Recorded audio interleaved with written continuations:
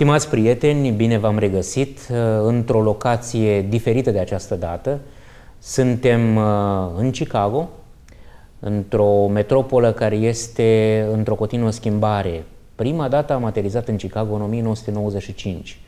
Suntem în 2016, la 21 de ani diferență și din când în când am revenit în acest minunat uh, oraș cu arhitectură fascinantă, și o aglomerație urbană la fel de atrăgătoare și fascinantă, cu diferite stiluri de arhitectură, diferite stiluri de uh, concepție uh, urbană, care s-au schimbat de la o perioadă la alta, din 5 în 5, din 10 în 10 ani. Am văzut apărând turile noi, am văzut uh, apărând construcții noi, cu mesaje uh, noi.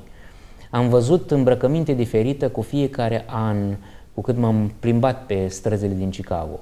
Ieri am făcut o tură la o altă viteză prin uh, oraș cu bicicleta și am fost surprins să revizitez orașul uh, și să înțeleg că mă aflu într-o altă lume, într-o cultură cu totul diferită față de cea pe care o vizitasem cu bicicleta în urmă cu 21 de ani.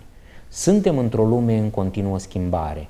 La emisiunea noastră între scriptură și ziar, astăzi, cu ajutorul unui invitat special, aș vrea să înțelegem ce se întâmplă, să ne orientăm, să ne sfătuim, cum spunem aleahii, cei care uh, sunt numiți buni de scriptură, s-au adunat și ei și au vorbit adesea unul cu altul ca să înțeleagă vremurile, să înțeleagă soroacele, să înțeleagă încotro duce Dumnezeu lumea.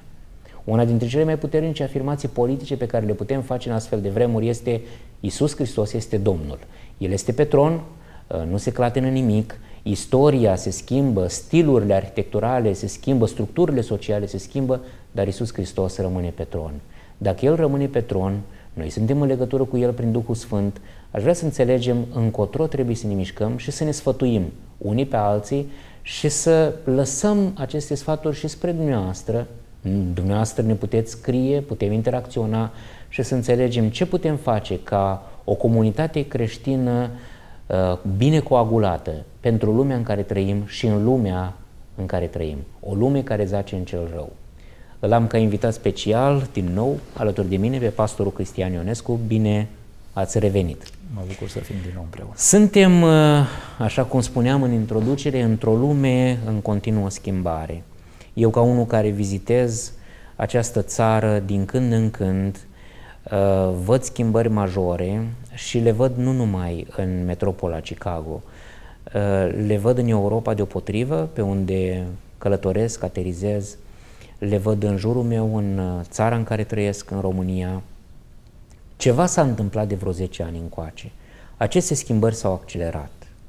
Uh, trăim într-o lume în uh, plină globalizare, explozia mediatică a internetului ne-a dat noi provocări, de aceea aș vrea ca în următoarele 30-35 de minute să stăm în primul rând înaintea Domnului și apoi punând din experiența, expertiza pe care o aveți, din înțelepciunea pe care v-a dat-o Dumnezeu, din experiențele comune pe care le avem în, uh, în media, în internet, să înțelegem ce avem de făcut ca să fim mai prezenți, mai eficienți, mai înțelepți în lumea aceasta care arată deja ca o salată beof cu tot felul de ingrediente.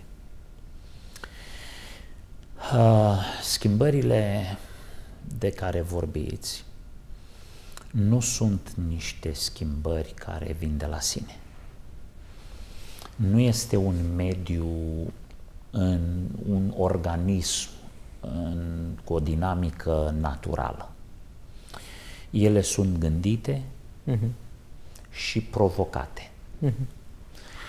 Uh, scopul final, și bineînțeles că din profețiile cuvântului lui Dumnezeu îl cunoaștem, este ca diavolul să pună total stăpânire pe lumea aceasta. Lumea zace în cel rău din punct de vedere spiritual. Dar lumea nu este încă total aservită celui rău. Uh, pentru ca să aibă o dominație totală asupra lumii, uh-huh. Diavolul vrea să pună stăpânire pe gândirea omului. Și uh, ceea ce observăm în lumea în care trăim este o schimbare de mentalitate care se vede, că eu nu pot să citesc gândurile da. oamenilor, da, da. dar schimbarea de mentalitate se vede în schimbările hmm. de care vorbeați dumneavoastră mai devreme. Hmm. Și schimbarea este dramatică, este o mentalitate din ce în ce mai materialistă, este o mentalitate în care Dumnezeu și lucrurile spirituale au loc din ce în ce mai puțin sau dacă uh, prin natura lui omul are nevoie și de spiritual, uh, spiritualității uh, de ordin creștin, îi ia locul o spiritualitate de ordin păgân, este foarte clar pentru noi care trăim în mediul acesta Uh, spiritul anticreștin și anticristos uh, de care dă dovadă lumea aceasta din ce în ce mai mult uh, și disfuncționalitatea de gândire prin care, dau doar un singur exemplu, creștinismul este considerat periculos în vreme ce islamul este tolerat, da, e tolerat în nu? ciuda faptului că islamul mm-hmm. atacă în mod brutal chiar platformele pe care se clădește această societate liberalistă. Mm, exact, exact. Da, asta este absolut paradoxal. Da. În, în ultimii 10 ani de care am spus, de care am amintit adineauri, perioada în care s-au accelerat câteva uh, bătălii au, au început să cadă câteva turnuri sau câțiva piloni care sunt absolut fundamentali pentru echilibru social, indiferent de opțiunile noastre religioase. Noi ne numim și am, avem opțiunea creștină, dar indiferent de opțiunile noastre, sunt câțiva piloni care au fost secerați, după cum bine ați observat, uh, într-o, într-o programă, într-o, cu un proiect bine uh, pus la punct. Aș vrea să ne uităm la acești piloni și să înțelegem cam, cam încotro trebuie să veghem și unde, ce ar putea să facă cel neprihănit atunci când temeliile sunt fisurate. Primul este uh, perspectiva tradițională asupra familiei.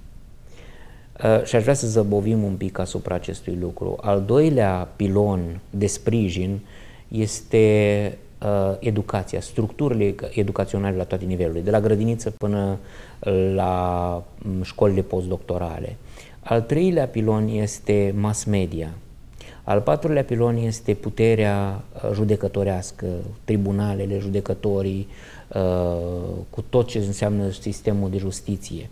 Și uh, al, al cincilea pilon cred că este uh, Ehm, toate structurile sociale de servicii, de, uh, care, care fac ca societatea noastră să arate ca o societate, societate civilizației, servicii și producție. Uh, începem să vedem și discutam zilele trecute despre transformarea unor obiecte care în loc să fie construite pentru a trece dintr-o generație în, în generație, s-a schimbat ceva paradigmatic. Uh, se produc obiecte care să fie uh, dispozabile, să fie uh, aruncate după uh, puțină utilizare, transmițându-ne în felul acesta ideea că orice poate fi dispozabil și de orice poți scăpa, inclusiv de soție, uh, de copii, dacă nu te încurcă și nu ai nevoie. Haideți să începem cu câteva, poate reușim să ne uităm în toate aceste sectoare. Ce s-a întâmplat cu familia în ultimii 10-15 ani? La baza tuturor acestor uh, coloane de susținere se află aceeași temelie decimată, uh-huh. numită moralitate. Uh-huh. Și veți vedea pe parcurs că lipsa de moralitate lipsa de morală, nu de moral, uh-huh. lipsa de morală uh, influențează negativ toate aceste dimensiuni ale vieții sociale. Familia. În trecut, cel puțin la nivel de mentalitate, era foarte clar că o familie sănătoasă este formată între un bărbat și o femeie care au copii uh-huh. și care sunt loiali uh-huh. toată viața. Că acest gen tradițional de familie înregistra accidente pe aici pe acolo. Uh-huh. E adevărat. Dar erau tratate ca patologie. Erau excepții. Da. Și erau considerate ca o boală uh-huh. de ordin social, da. o boală morală. În momentul de față, pe măsură ce fiecare gard a fost sfărmat uh-huh. și a fost acceptat adulterul și decriminalizat, pentru că a fost da. o perioadă în care adulterul era criminalizat. Criminal, da. Uh-huh. În momentul în care a fost acceptat divorțul uh-huh. și prezentat ca o alternativă de dorit. Da. Deci decât să stea doi într-o casă și se certe, mai bine se despart. O soluție de conveniență. Apoi, avortul. Avortul. Devalorizarea vieții. Uh-huh.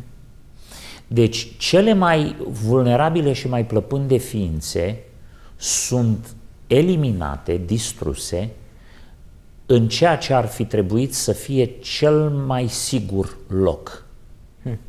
din Pântecul univers. Mamei. În pântecul mamei. Hmm. În momentul în care aceste, acest lucru a devenit decriminalizat, ba mai mult, glorificat ca un drept și ca parte din emanciparea femeii. femeii. Da. Deci n-a denaturat mama, hmm. a emancipat femeia. Hmm. Uh, a fost o chestiune de timp până să ajungem la ceea ce am ajuns astăzi, redefinirea familiei. Hmm. Dar totul începe, pentru că oamenii, pe măsura uh, degradării lor morale în viața lor personală, hmm. devin, prima dată devin farisei. Încearcă să pozeze ca și când sunt indignați de lucrurile astea, pentru ca să hmm. ascundă propria lor viață, câtă vreme ar cădea sub incidența oprobiului public. Hmm. În momentul în care în mod colectiv și progresiv aceste lucruri devin acceptabile, uh, bineînțeles că uh, gardul este sfărâmat hmm. și permisivitatea uh, avansează către următorul gard, atacă următorul gard. Ce putem face pentru a uh, zidi temelia crăpată aici? În România a existat și încă este în desfășurare o inițiativă pentru apărarea familiei tradiționale. De asemenea, au fost marșuri, ieșiri în stradă și una dintre marile mele dezamăgiri a fost că în momentul când s-au organizat aceste manifestări publice față, spre exemplu, de cazul Bodnariu, în care comunitățile evanghelice s-au mobilizat exemplar, în astfel de momente cheie, în apărarea familiei tradiționale, în lupta împotriva avortului, uh, bisericile noastre au fost extrem, extrem de timide, ba chiar aș spune nepăsătoare cu totul la uh, astfel de inițiative. Parcă vorbești la pereți și este una dintre frustrările mele că nu înțeleg miza cu care avem de-a face. În alte uh, state din Europa ești deja arestat dacă nu oficiezi ca păstor căsătorii împotriva naturii, ți se face, uh, ești, poți, poți să fii dat uh, afară din slujbă și apoi să suporți consecințe legale. Cum de suntem atât de orbiți să nu vedem că la nivelul familiei este unul dintre, una dintre cele mai ascuțite lupte pe care trebuie să le dăm. Odată ce pierdem familia, uh, pierdem cu ea structurile ulterioare pe care putem asigura sănătatea societății. Da. Și a bisericii, sau a da, bisericii da, societății. Este detestabil uh, faptul că nu înțelegem în mod plenar uh-huh. uh, felul în care ar trebui să acționăm. Credinciosul nu are voie să fie unilateral. Uh-huh. Trebuie să ne rugăm și să postim. Uh-huh. trebuie și să protestăm și să demonstrăm. Trebuie și să purificăm biserica în primul rând de aceste mm-hmm. accidente. Aici vreau să vă spun că după cum individul și-a pierdut credibilitatea datorită propriilor lui falimente morale de a judeca pe alții. Că Biblia spune foarte clar în Roman 2, tu care judești pe altul și tu faci da, același lucru. Exact. Biserica nu mai are credibilitate în fața societății. Hmm. Pentru că modul cel mai ușor de a legifera și de a criminaliza aceste acte e la nivel de biserică. Uh-huh. Biserica nu are celule de închisoare. Uh-huh. Biserica nu are scaun electric. Uh-huh. Nu are pluton de execuții. Uh-huh. Biserica nu poate să facă decât un singur lucru omului care deviază de la aceste valori. Uh-huh. Să le excludă. Să-l pedepsească. Da. Să-l pună deoparte. În momentul în care biserica nu a mai făcut acest lucru cu păcatul. Din potrivă, din, din potrivă. A devenit tolerantă. Da, da. Exact. Deci în momentul în care biserica n-a mai predicat împotriva uh-huh. păcatului. Da. În momentul în care biserica nu a mai aplicat rânduielile de uh-huh. corectare și de exterminare a păcatului din sânul uh-huh. ei. Biserica și-a pierdut credibilitatea de a mai demonstra pe platforme sociale. Da, bună observație. În al doilea rând, o a doua mare problemă pe care o avem. Uh, în momentul în care ieșirea în stradă și protestul și demonstrația care se organizează uh, îmbracă aceste forme de moralitate socială, biserica nu mai trebuie să țină cont de nimic altceva, de nicio altă sensibilitate. Ea trebuie să-și păstreze identitatea, ea trebuie să iasă în stradă cu identitatea ei, mm-hmm. dar trebuie să iasă în stradă. Da. da. Pentru că este chemarea lui Ioan Botezătorul, care putea liniștit să stea în pustie sau să stea la Iordan, dar s-a dus înaintea lui Rod, a întins degetul spre el și i-a spus, nu îți este îngăduit hmm. Să faci lucrul acesta. Da, da, da. Dacă biserica nu este conștiința societății, nimic, înseamnă că societatea nu mai are conștiință. Da. Hmm. Da, când, când adulterii este promovat și când se uh, pune între paranteze uh, orice uh, faptă gravă în domeniul familiei, bineînțeles că oamenii se vor uita la noi și vor întreba cu ce autoritate ne vorbiți despre aceste valori pe care ni le impuneți. Și mai mult, de exemplu, hai să zicem că în biserică are loc un accident moral. Păcătuiește cineva foarte grav. Ce spunea în vechiul legământ? Acum, mm. noi nu vorbim de uciderea cu pietre și de da, alte da, lucruri, da. dar luăm principiul vechiului da. legământ. Cine trebuia să arunce primul cu piatra în acel imoral? Tatăl său, familia sa. Da. Hm. De ce? Pentru ca poporul să dovedească că dragostea de Dumnezeu și de poruncile lui Dumnezeu hm.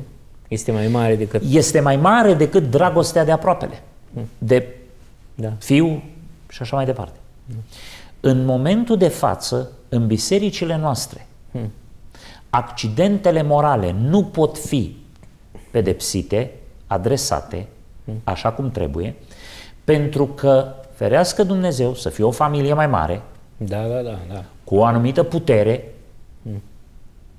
imediat păstorul sau comitetul s-au pus în pericol. Biserica însă și pusă în pericol uh-huh. de scandalul pe care îl poate face acea familie, ca să protejeze cea lor, cu orice preț, indiferent de adâncimea căderii morale. Iată aici pentru cei care sunt uh, implicați în conducerea bisericii, pentru păstori, pentru diaconi, pentru prezbiteri, uh, trebuie să înțelegem că vom pierde bătălii importante și finalmente războiul dacă nu ne întoarcem la linia, la canonul Scripturii, la liniile de, de direcție și de înțelegere uh, în spațiu conservator, în, în uh, înțelegerea conservatoare a familiei. Un alt domeniu în care vedem uh, lucruri reparabile este în domeniul mediatic. Și dumneavoastră și eu uh, avem două pagini urmărite de destui de mulți oameni, pagini de blog pentru care ne-am încasat și unul și altul destul de multe uh, insulte, persecuții, uh, critici și așa mai departe. În cazul meu, unele pe bune dreptate, pentru că am făcut și greșeli și n-am fost întotdeauna foarte înțelept cu anumite lucruri. Dar am considerat vital că o voce a credinciosului trebuie să fie auzită și în spațiu mediatic. Așa cum spuneam într-o altă întâlnire a noastră, cum s-ar fi putut construi un caz Bodnariu fără blogul pastorului Cristian Ionescu? Uh, media este plină de tot felul de mizerii, tot felul de scursuri. Uh, creștinii și-au pierdut glasul și uh, sunt într-o stare de asta de prostrație și de, de muțenie, fără mai glăsui curajos Evanghelia. Care este rolul creștinului într-un mediu atât de dificil, atât de delicat, cum sunt rețelele de socializare, blogurile, paginile de internet, paginile de internet ale bisericilor, media creștină, Credo TV? Eu cred că avem dreptul la exprimare cu privire la acele lucruri care definesc identitatea noastră ca și creștini, mm-hmm. exprimarea noastră ca și filozofie de viață și uh, crez. Pe blogul pe care îl administrez și pe blogul dumneavoastră nu a apărut niciodată o imagine sau o critică gen tabloid uh-huh. în care să discutăm despre mașina cuiva, despre casa cuiva și atenție, despre căderea cuiva în cine știe ce uh-huh. stricăciuni. Noi nu am devenit bloguri de știri cu privire la asemenea scandaluri. Noi nu suntem bloguri de scandal.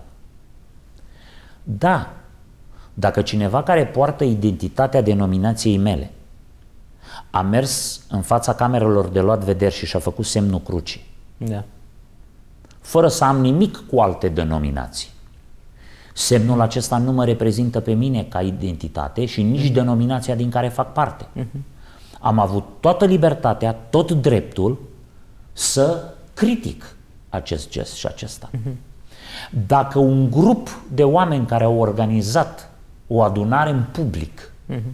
filmată și mediatizată, uh-huh. și care fac parte din denominația mea, uh-huh. au apărut pe scenă cu dansuri uh-huh. Și cu acte care nu țin nimic. Nu caracterizează etosul caracterizează. nostru. Bineînțeles, mi s-a părut uh-huh. un drept al meu să mă ridic împotriva unor asemenea practici și să le numesc ca atare. Uh-huh. Demonice, satanice, uh-huh. cum am crezut uh-huh. eu de cuvință. Uh-huh. Eu nu am făcut recenzia vieții uh-huh. cuiva uh-huh. Să spun de unde are ăsta bani să stea într-o asemenea vilă, uh-huh. de unde are ăsta bani să umble cu o asemenea mașină uh-huh. sau de unde are ăsta bani să se îmbrace cu costumul cu tare. Uh-huh. Asta este pentru mine o chestie de scandal. Uh-huh. Pe mine nu mă interesează lucrurile astea. Corect. Or, în momentul de față, pentru ca să păstrăm identitatea noastră lângă butuc. Uh-huh. Pentru ca să nu deviem glasuri ca ale noastre și altele. Da, Sunt sigur. binevenite în spațiul public. Pentru că toate aceste devieri, și eu le numesc fără nicio rezervă erezii, uh-huh. sunt promovate în spațiu public. Da, da, da.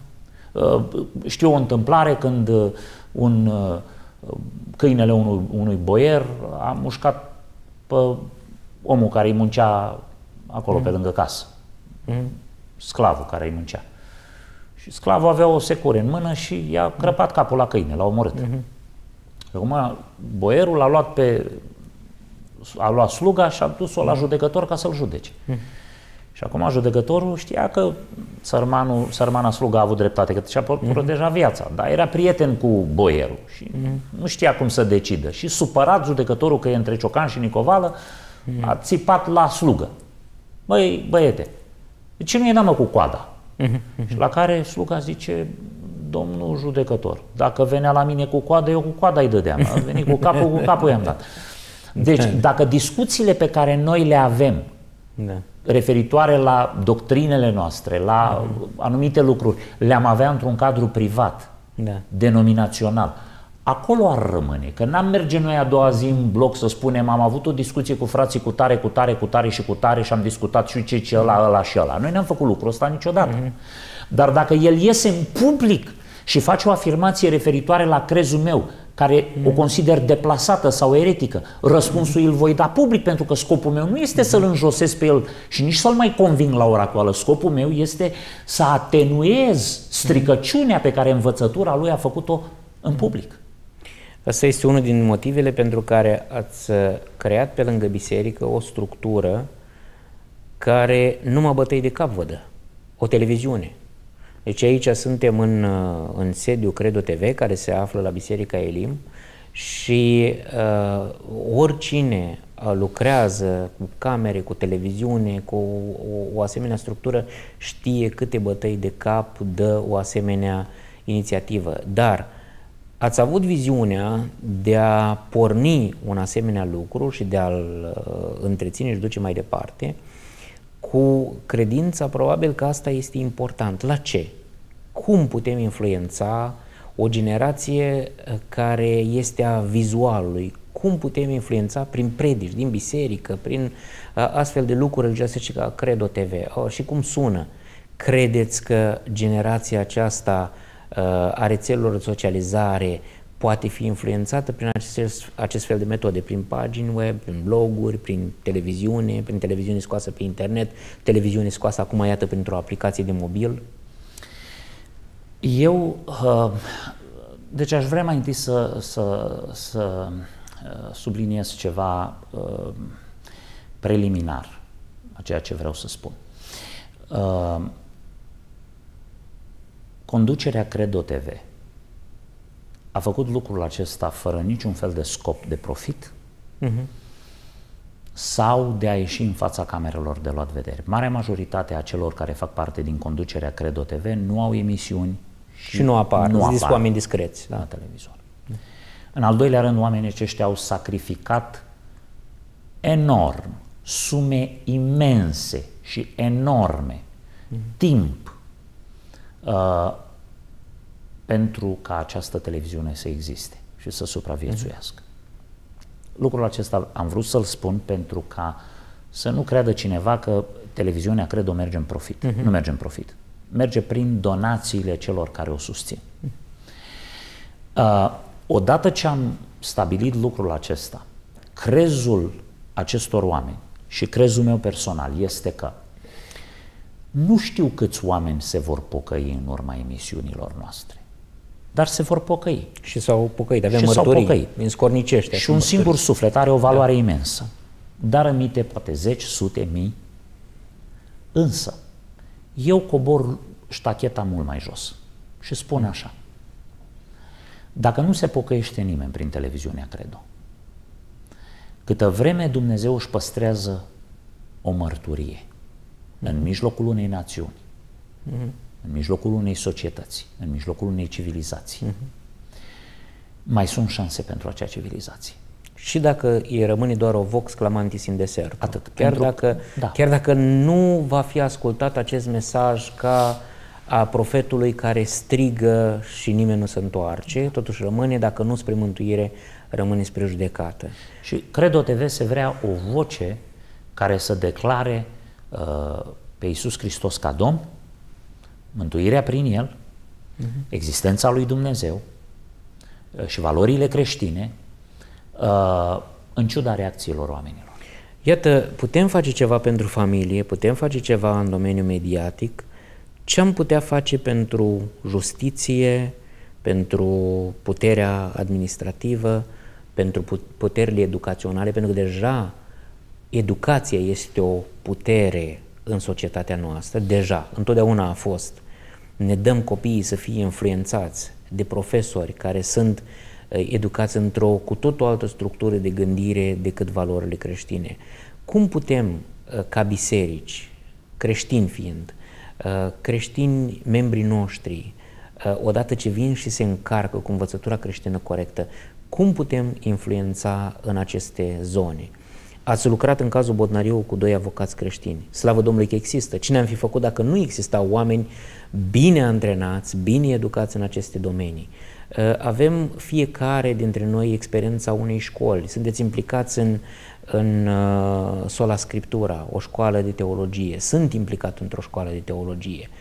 Uh, aveți de asemenea implicări diferite în alte domenii ale societății, prin alți specialiști care sunt membri ai bisericii noastre, începând de la arhitecți până la oameni care sunt meseriași și care fac un lucru bine făcut pentru că îl fac ca pentru Domnul. Cum vedeți viitorul pornind de la aceste domenii? Este un război în care trebuie să ne consumăm toate cartușele. Hmm. Nimeni nu trebuie să disprețuiască chemarea și lucrarea nimănui. Mm-hmm. În trupul lui Isus Hristos fiecare mădular aduce ceva și contribuie cu ceva. Și marea greșeală pe care noi o facem în zilele noastre este exact cea împotriva căreia avertiza Apostolul Pavel când spunea de ce ochiul să spună pentru că nu-s picior sau mm-hmm. piciorul să spună pentru că nu se mână. Una din marile noastre probleme este că prețuim foarte mult propria noastră chemare și disprețuim adesea chemarea altora. Hmm. Uh, Dumnezeu nu a dat nimănui totul decât Domnul Isus Hristos, că El este Cel care plinește totul în tot, tot. și în El este arătarea plinătății lui Dumnezeu. Da. Totul este plenar doar în Hristos. Hmm. Amin. Noi suntem fiecare în parte un detaliu al acelei plinătăți. Hmm. Și nu putem unii fără alții. Nu putem toți fără fiecare. Hmm. Uh, acum, vorbind despre implicarea noastră la nivel social, ar trebui să fim puțin mai interesați în ceea ce fac alții. Hmm. Ar trebui să fim puțin mai atenți și mai responsabili unii față de alții. Pentru că nouă ne este ușor să susținem, uneori să finanțăm, hmm lucruri care sunt dragi inimii noastre și cu care ne identific, identificăm. Da. Dar foarte greu susținem sau dăm două parale pe lucruri care sunt departe de expertiza noastră sau de interesul nostru. Hmm. Aici aș vrea să, uh, vorbim despre cazul Bodnariu, hmm. aș vrea să spun un lucru. Uh, eu sunt apolitic am o suspiciune născută față de tot ceea ce este politic. Și o perioadă îndelungată am disprețuit și politica și pe cei implicați în politică. Uh-huh.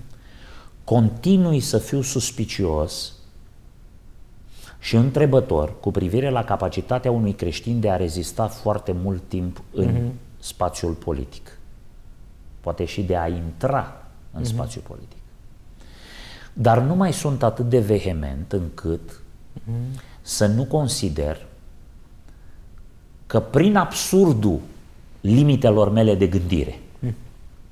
ar putea să existe un om competent, integru și folositor lucrării lui Dumnezeu și în spațiul politic.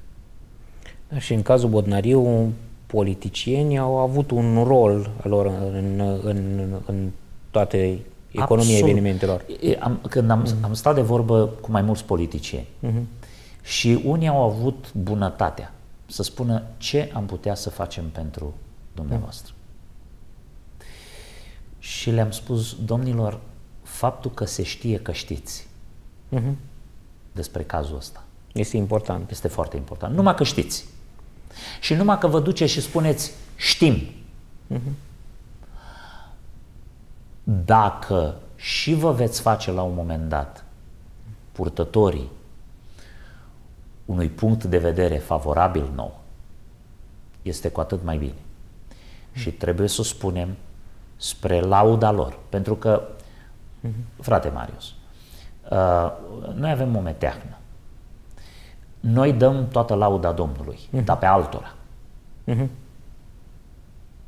Fiecare îi place să dea toată lauda Domnului, dacă e vorba de lauda altuia. Da, da, da, da. Fiecare să-și o dea pe a lui Domnului. Da, da, Dar noi trebuie să dăm cinste celor vrednici de cinste. da.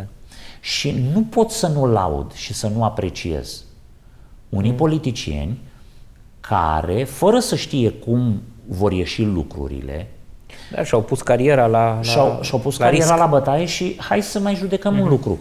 În primă fază, când încă nu erau toate detaliile ieșite și nu se citiseră documentele, și aici iar trebuie să specifică, intrăm din nou, mm-hmm. alunecăm mm-hmm. în cazul Bonariu, da? Da. nu erau toate, nu, documentele niciodată n-au fost toate uh, ieșite da. în spațiu public, ar fi fost mult mai favorabile familiei Bodnariu decât uh-huh. uh, se crede. Pentru că acum deja se începe să se descopere mm. metodele folosite de interogare a copiilor. Mm. Ceea ce spun copiii Hmm. e grotesc mm. ce au făcut oamenii ăștia acolo. Grotesc, îngrozitor, mm. revoltător. Însă, uh, pe când bănuielile erau, nu i-a dat cu pumnul în burtă la bebeluș? Hmm. Nu i-a dat cu piciorul în spate și a rostogolit-o pe scări? Niște aberații, niște Da, da, da, lucruri. da, da. Au existat politicieni care au spus, știi ceva, Hmm. noi o să fim de partea acestei familii. Și tuturor acestora și altora, uh, din toată inima, mulțumesc, Iată, vrednici de iată cinste. încă un mijloc de, de influența bisericii și Absolut. de, de uh, în purtarea luminii și a sării în spațiu public. În apărarea politicienilor nu mă pot abține să nu amintesc că doi dintre, uh, două dintre personajele Scripturii cu cele mai curate dosare sunt doi politicieni, Iosif și Daniel. Exact. deci dacă ne uităm, Moise are uh, dosare chiar mai urâte decât uh, aceștia doi. Uh, ne apropiem de finalizarea uh, discuției noastre și aș vrea să concluzionăm în direcția faptului că biserica a fost chemată să fie un glas din generație în generație. Noi reprezentăm o generație, urmează generații după noi și va trebui să facem ucenicie cu generațiile care urmează în a educa, să nu fie închiși între zidurile bisericii, că există un mandat al bisericii care spune mergeți în toată lumea, lumea da zace în cel rău, dar trebuie să fim conștienți că vor veni generații după noi care vor fi din ce în ce mai speriate, din ce în ce mai terorizate, cu o, o lume care se profanează tot mai mult și se laicizează tot mai mult. Va trebui să le dăm curajul și să le dăm îndemnul de a continua să lucreze în sisteme educaționale, în sistemul de justiție, în uh, sistemele uh, de servicii sociale, în uh, primării, în guvern și așa mai departe, sprijinindu-i și, în primul rând, protejându-ne ca biserica să fie ce a lăsat-o Dumnezeu să fie. Care ar fi un gând pe care l-ați împărtăși acum ca viziune, ca strategie pentru telespectatorii noștri în această direcție? Fiecare credincios este chemat să trăiască în lume fără să fie din lume. Mhm. Amin. Asta presupune că avem voie să fim profesori, Mhm. medici, Avocați. avocați, politicieni, tâmplari, zidari, șoferi, orice altceva. Cu o condiție. Acestea să fie ocupații secundare. Ocupația principală a unui copil al lui Dumnezeu este de ambasador al împărăției lui Dumnezeu pe pământul acesta. Amin. Noi suntem creștini, nu suntem profesori. Exact. Sau altceva. Când eu m-am dus la locul meu de muncă, eu nu mă duc în primul rând ca profesor. Eu mă duc mai întâi ca și purtător de cuvânt al lui Dumnezeu în lume. Excelent, excelent observație. În momentul în care am făcut lucrul ăsta, eu nu voi avea nicio problemă hmm. să decid să spun ceea ce cred înainte să spun ceea ce îmi cere manualul. Hmm. Cu riscul de a-mi pierde, cu riscul de a pierde slujba. meseria cu care ne identificam altă dată. Pentru că atunci când pe una dintre ele două va trebui să le pierd, să o pierd, hmm. asta va dovedi ce sunt eu în primul rând. Hmm. Profesor sau ambasador al cerului. Dacă sunt în stare să renunț la poziția de profesor înseamnă că am fost în primul rând ambasador a cerului. Dacă nu, înseamnă că am fost în primul rând profesor da. și pe urmă numai dacă m-a ajutat și mi-a făcut bine, am fost ambasador a cerului, altfel nu. Un alt lucru foarte important este următorul. Niciodată să nu ieșim de sub, autori, de sub autoritatea bisericii locale hmm. și a structurilor eclesiastice care să ne supravegheze până și cariera noastră. Mm-hmm. Da. Derapajele înțeleg. sunt atunci când mhm. politicianul nu mai este nu mai dă socoteală nimănui. supus. Mm-hmm. Șeful meu, și asta, mm-hmm. în al doilea rând, șeful meu, în primul rând, nu este șeful de catedră de la mhm. liceu unde predau. Mm. Nu este medicul primar. Mm-hmm din instituția unde lucrez ca medic stagiar. Nu este șeful de partid. Ci o comunitate eclesială sănătoasă. Ci comunitatea eclesială și mm. conducerea acelei biserici, mm-hmm. care îmi spune, tu nu te duci să votezi pentru mm. acest, această lege. Da. Pentru că această lege spune că avortul e permis. Mm. Tu spui nu acolo. Păi da, tot partidul meu spune da. Tu te duci și votezi împotriva partidului tău. Mm. Păi da, atunci mă dă afară de la primele. Nici o problemă, vii înapoi da, aici da, da. și ești mai departe copilul Domnului și fratele nostru. Da, da. Tu la școală nu te duci să predai evoluția. Mm. Păi da, dacă nu predau și predau uh, creația, mă dă afară din școală. De da afară din școală, vii și ești profesor la școala duminicală aici sau ești învățător în biserica sau e predicator în biserica asta.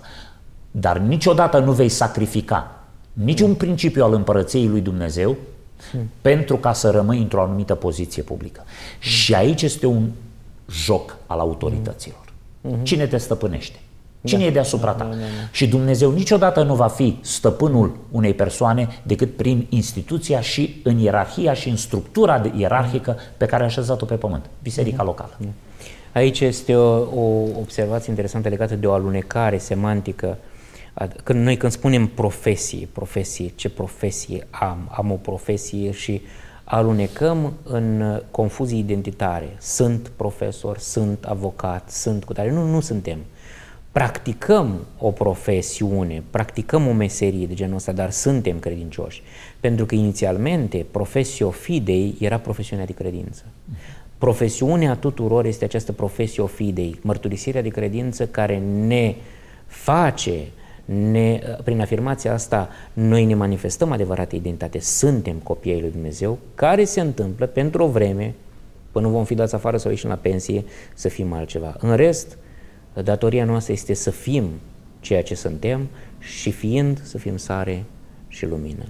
Vă mulțumesc foarte mult pentru uh, prezența în emisiune, pentru timpul acordat și sper să ne reîntâlnim curând, fie aici, fie în România, pentru a continua, așa cum spune Scriptura, s-au întâlnit adesea unul cu altul, ca să înțelegem care este calea și voia Domnului pentru generația noastră.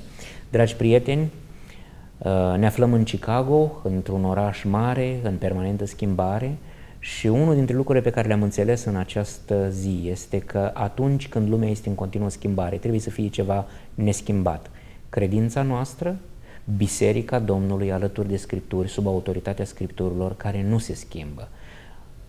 Scriptura lui Dumnezeu, care este același ieri, azi și în veci. Amin.